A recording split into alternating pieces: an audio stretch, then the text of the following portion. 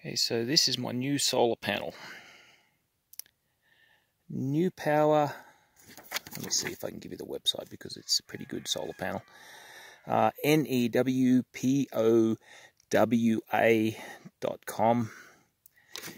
And uh, I recently just bought this off eBay. It was uh, advertised as 100 watts.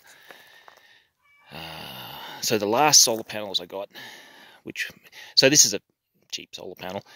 And the last cheap solar panels I got were all plasticky, whereas this is actually glass and aluminium.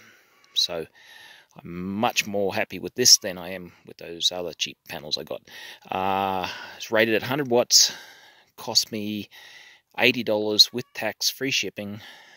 And uh, so right now it's early in the morning, well, relatively early, 9 o'clock. And uh, the you know I did a quick setup uh, came with these fancy connectors which I promptly cut off and soldered on leads just so I can test this out and it seems to be going a-okay so right now it's putting over 4 amps at 12 volts into 13 volt. Exactly, the batteries are at about 13 volts at the moment, and that's thanks to this solar panel. And uh, so, what does that come to? 4 times 13, 40, 52 watts. 52 watts, so a little over 50% of its rated capacity already in the morning.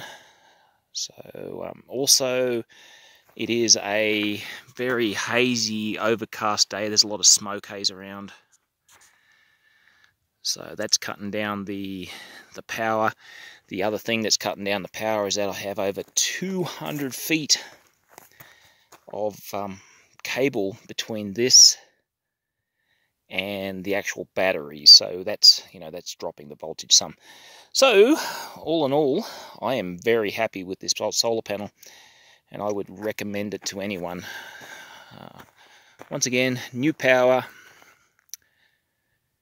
uh, rated at 100 watts, and um, cost me $80 and change shipped. So,